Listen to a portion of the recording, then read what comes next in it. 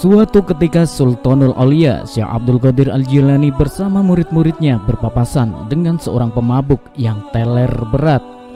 Walaupun dengan kondisi mabuk berat, si pemabuk itu memberikan tiga pertanyaan kepada Syekh Abdul Qadir Al-Jilani. Pertama, Ya Syekh, apakah Allah Subhanahu wa taala mampu merubah pemabuk sepertiku menjadi ahli taat? Syekh Abdul Qadir Al-Jailani menjawab, "Iya, mampu." Kedua, apakah Allah Subhanahu wa taala mampu merubah ahli maksiat sepertiku menjadi ahli taat setingkat dirimu? Sangat mampu, jawab Syekh Abdul Qadir Al-Jailani. Ketiga, apakah Allah Subhanahu wa taala mampu merubah dirimu menjadi ahli maksiat sepertiku?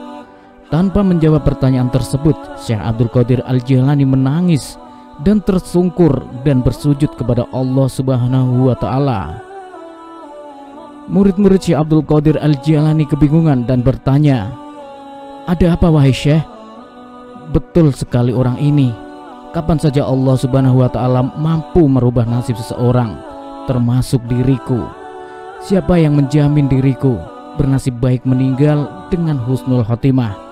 Kata Syekh Abdul Qadir Al-Jilani.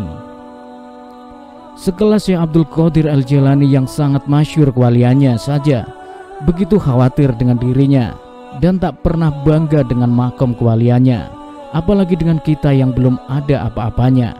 Tak ada alasan untuk bangga diri dengan amal dan selalu berusaha untuk menjadi lebih baik sepanjang hayat.